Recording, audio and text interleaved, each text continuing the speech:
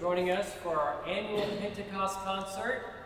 Um, this is the concert that kind of caps the end of our liturgical calendar and our choir season, so to speak. And we present music of the Easter season, um, which is kind of a long season. Pentecost, that first part of Penta, five, 50 days, and so we come to the end of the Easter season. So we're going to share with you some music uh, of the Easter season.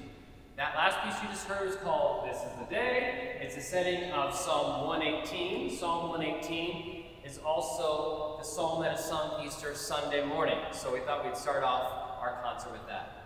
The next piece you're going to hear is called O Sons and Daughters. It's a story, all right? So hopefully you can follow the story. It's the story of Easter.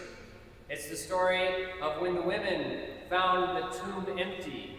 It's the story of when the apostles were hiding in the upper room and were worried about their lives.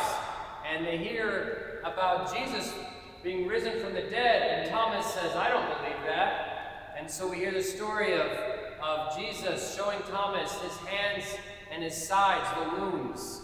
And so that is the story you're going to hear uh, this uh, right now. And This is also um, what you would have heard the second Sunday of Easter this year. This is O Sons and Daughters.